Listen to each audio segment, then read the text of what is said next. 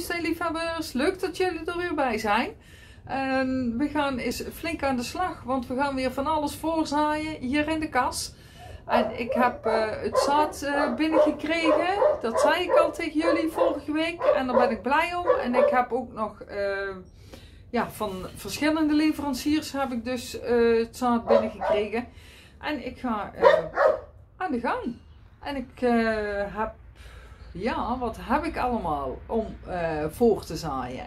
Um, we zullen het er eens even bij gaan pakken.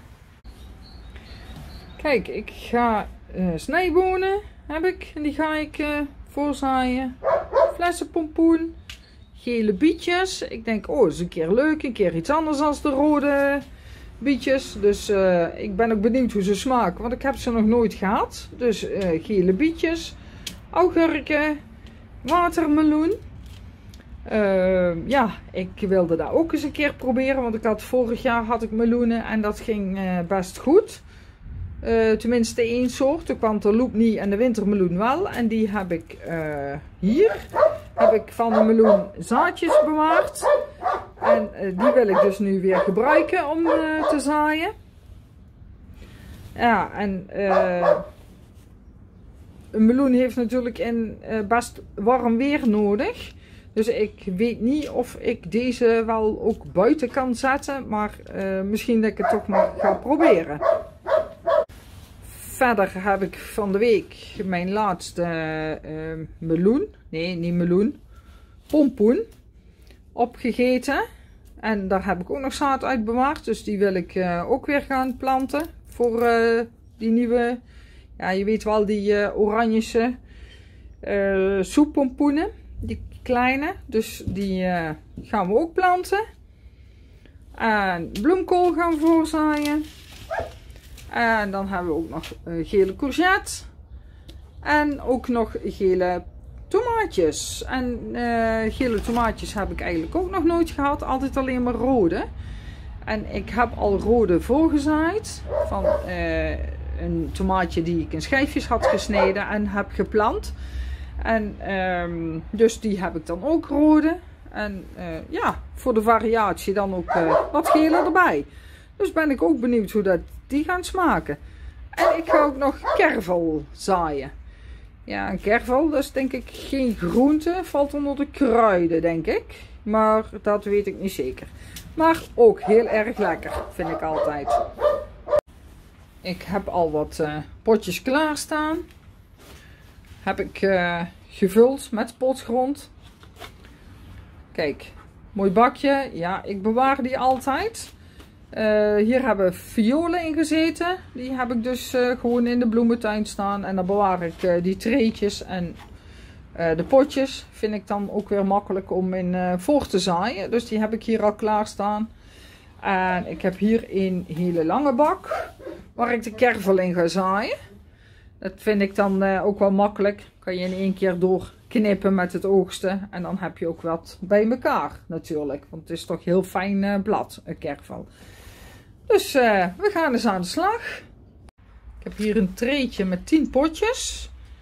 En jullie zien net het laatste potje niet, maar ik krijg het er niet goed op. Maar ik heb hier nog een potje. Dus het zijn 10 potjes en dan ga ik die half om half zaaien. De ene helft met uh, de snijbonen. En de andere helft uh, ga ik de flespompoen inzetten. Dan ga ik hem even opscheuren.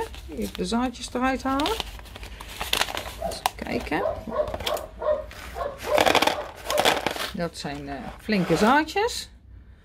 Lijken ook wel op, een beetje op tuinbonen vind ik qua grootte, qua zaad. Ja, tuinbonen zijn net een andere, of ja, tuinbonen en uh, bruine bonen. Die zijn natuurlijk dan bruin, maar daar vind ik ze wel een beetje van weg hebben. Uh, zoals ik al zei, ik heb nog nooit snijbonen gehad, dus dit is de eerste keer. Nou um, ga ik er twee zaadjes in één potje doen. Want uh, dat adviseren ze hier op het zakje, dus dat hou ik dan maar even aan.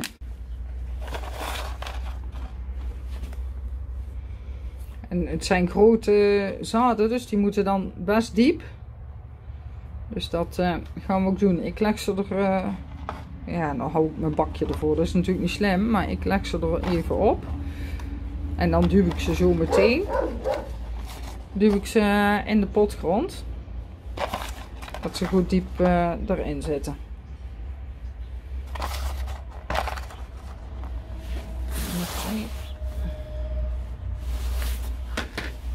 Even aan. En een beetje zand erover. Want ze mogen wel op een 2, 2,5 centimeter uh, diepte. Dus dan uh, komen we zo een heel eind.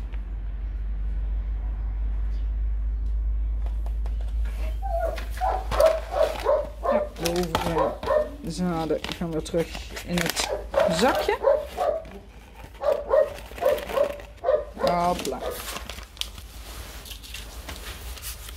En dan uh, doen we de flespompoen aan de andere kant. Dan moet ik hier straks nog wel even de datum opschrijven. Want hier op deze staat nooit geen datum op. Van deze leverancier. En dat was eigenlijk uh, wel een slimme tip. Om er zelf even een datum op te schrijven. Dus dat uh, ga ik straks nog even doen. Zodat ik toch ook weet hoe oud het zaad is. Hoewel ik ook de tip kreeg dat je aan de hand van het uh, uh, nummer kunt achterhalen hoe oud het zaad is, van welk jaar. Nu vind ik een uh, datum erop schrijven toch net iets makkelijker, moet ik zeggen. Deze ga ik in, in een potje zetten.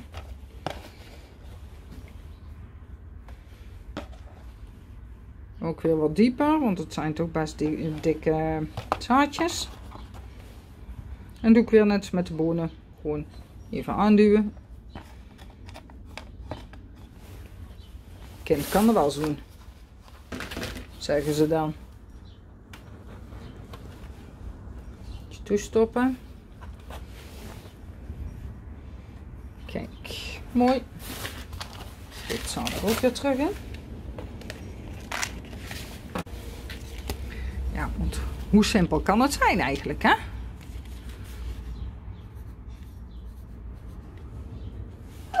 Zo. Mooi zo. Deze bewaren we weer.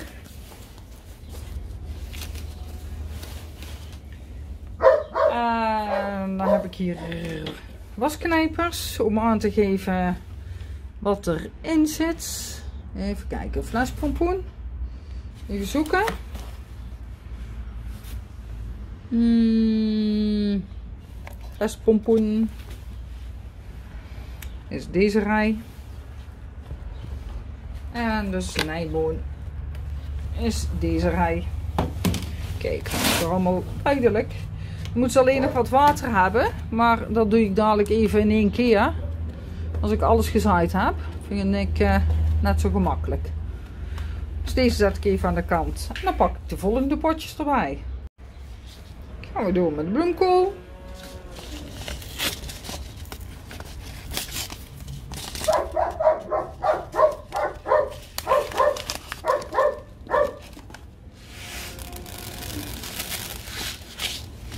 Dit zijn weer hele kleine fijne zaadjes. Uh, van die ronde bolletjes. En daar ga ik er even twee van in een potje doen.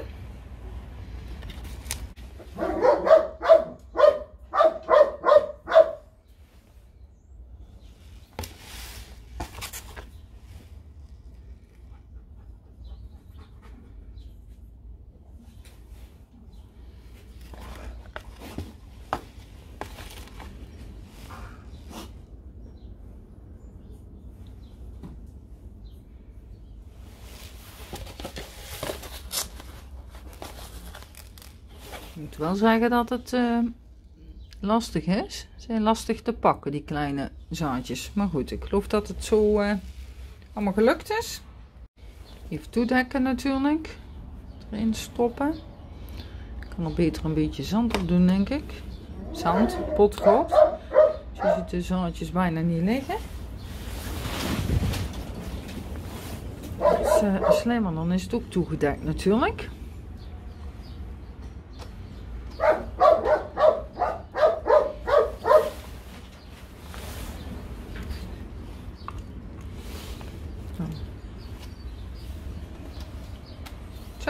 Hem even door. Dan doe ik op de andere helft de pompoen. En die duw ik er weer even. Oh, moeten we loslaten in.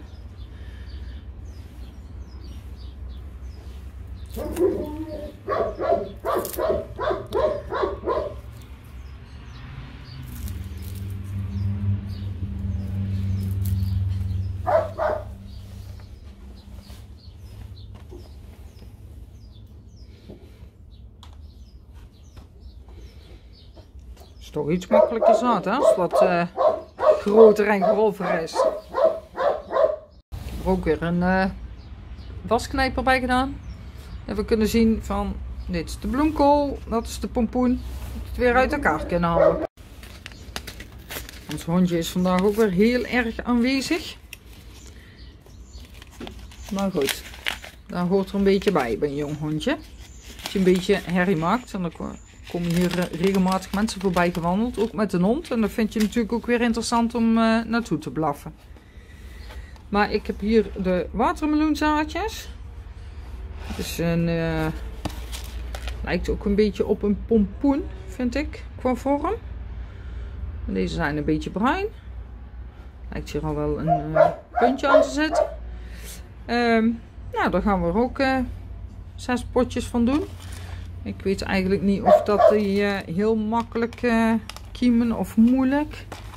Eigenlijk geen idee. Misschien moet ik er maar twee per potje doen, voor de zekerheid. Uiteindelijk zijn de potjes groot genoeg. Ik denk dat het uh, slimmer is. Hebben we meer kans van slagen.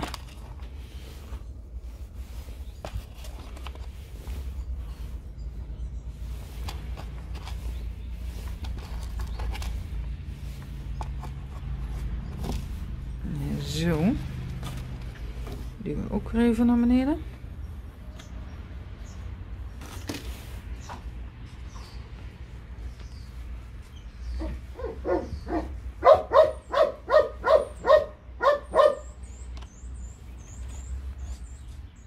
Nu ga ik dat bij de wintermeloen ook doen. Twee zaadjes per potjes. Want ik weet dat het uh, vorig jaar was ook een beetje een lastig plantje.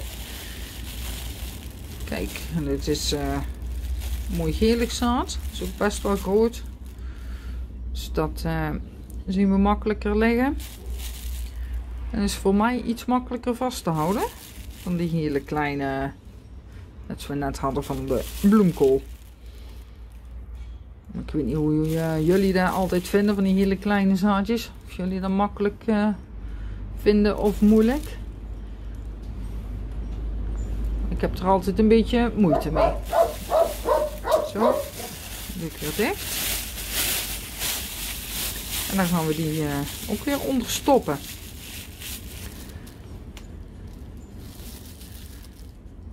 Dit is eigenlijk een mooier treetje. Hè? Dan zit het allemaal niet zo schots en scheef. Hier zitten ze mooi uh, in een rijtje, de bakjes. Dat is makkelijker als dat het uh, verspringt. Um, ja, dan gaan we de tomaatjes doen. De Pingpong Honey Delight. De gele tomaatjes. Schrijf er maar vast even de, het jaartal op. Kan ik dan niet meer vergeten.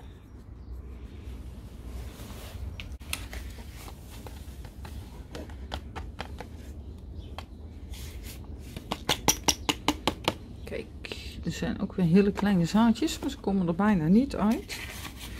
even kijken.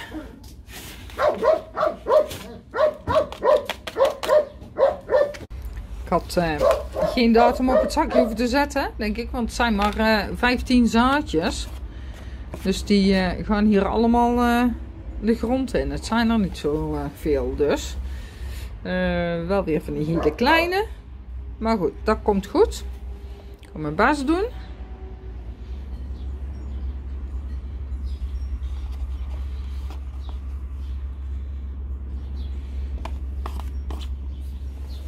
Doe twee per potje. En even kijken, we hebben er 12, dan heb ik er nog drie over. Dus dan zijn er uh, ja, drie potjes met drie zaadjes. En aan de andere kant doen we de gele bietjes. Het gezellig, hè? Dubbel geel langs elkaar. Um, even kijken hoe groot dit zaad is. Hier zit wel meer zaad in, zo te voelen. Ja. Bijzondere vorm uh, heeft hij. Een beetje... Uh, ja, goh. Maar is het toch? Het is niet rond, het is niet hoekig. Het is uh, een bijzonder zaadje. Nou, maar wel leuk. Dus die ga ik in een ander potje zaaien. Ik denk dat ik er ook maar twee in doe per potje.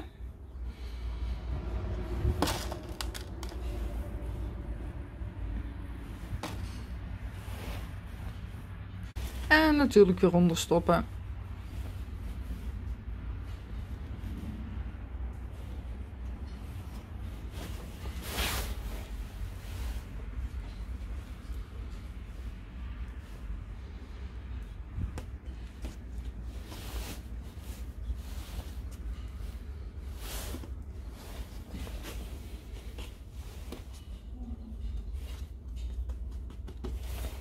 Kijk, helemaal mooi. Naar de augurken. Vind ik zelf ook altijd heel lekker. En dit is een variant die kun je ook klein eten um, als snackkomkommer. Dus dat vind ik dan ook wel uh, prettig. Hebben we twee vliegen in één klap. En augurken, ja, ik vind het toch wel lekker. Ik maak ze zelf altijd in, in een uh, potje gewoon, in zoetzuur. Dat gaat er eigenlijk altijd wel in. Kijk, en ja, de meeste van jullie zullen wel weten, het zat uh, in een komkommer. Hè? Dat zie je dan ook altijd zitten. Dus uh, ja, dat is dit. Hè? Zo ziet het eruit. Zo zit het ook in de komkommer. Dus één per potje.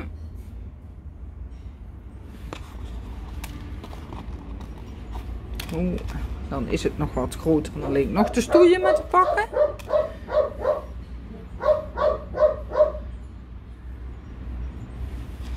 Nou, um, dit is dus de augurk. Maar dan had ik hier uh, van de courgette het uh, labeltje neergezet. Dus dat is niet zo slim. Dus ik ga weer even omdraaien. Daar zit de augurk en aan die kant komt dadelijk de courgette.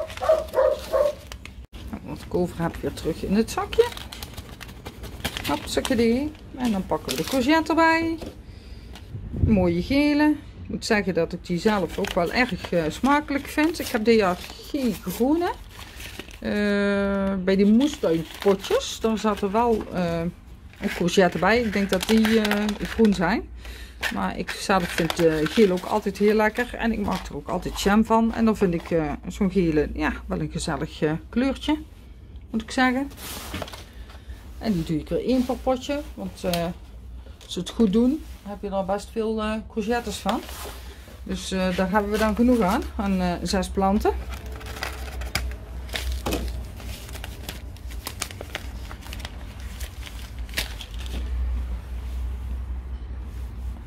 Meer is genoeg hebben we daar wel aan.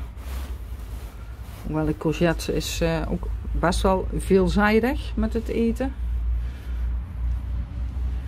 Je kunt er van alles mee.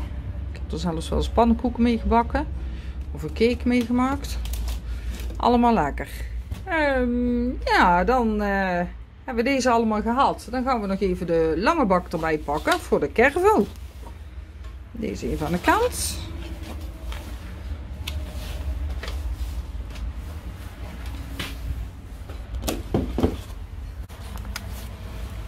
Dat is uh,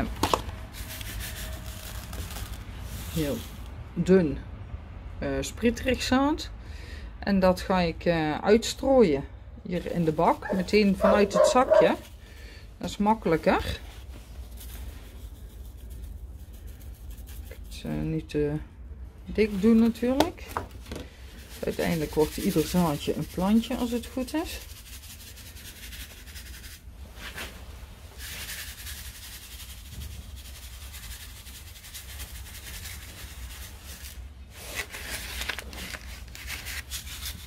Kijken dat ik het een beetje goed verdeel.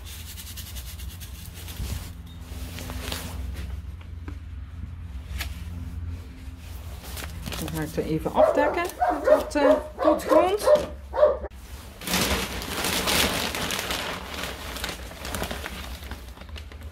even een laagje overheen. Ja, deze is, uh, komt net uit de zak. Je ziet dat die andere al uh, wat verkleurd is. Door het uh, staan. Al een beetje ingedroogd. En deze is nog vochtiger. Die komt net uit dan dekken we het even toe.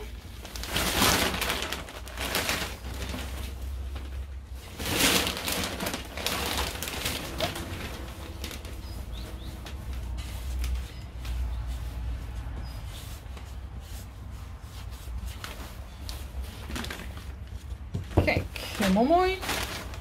Dan ik mijn uh, uh, waterspuit er weer even bij. Ik druk erop voeren. En dan is het een kwestie van alles even water geven. Heel belangrijk natuurlijk ook. Zonder water groeit er natuurlijk niks.